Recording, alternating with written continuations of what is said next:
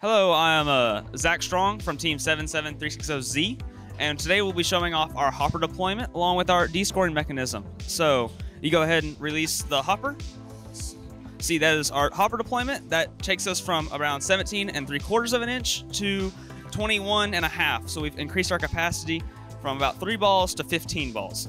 Now, show pick up some int balls, intaking.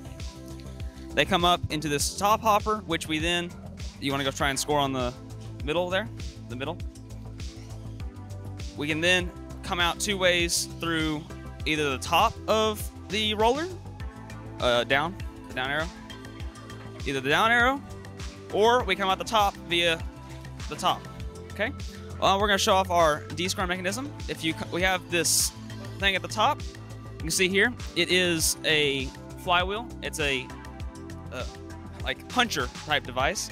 So we'll go over to a fully loaded stack of balls. That's uh, robot, uh, our robot 77360Z from Onalaska, Texas. The Robotics Education and Competition Foundation provides fantastic programs for students from elementary school all the way through college. To discover these exciting opportunities, visit recf.org and get connected.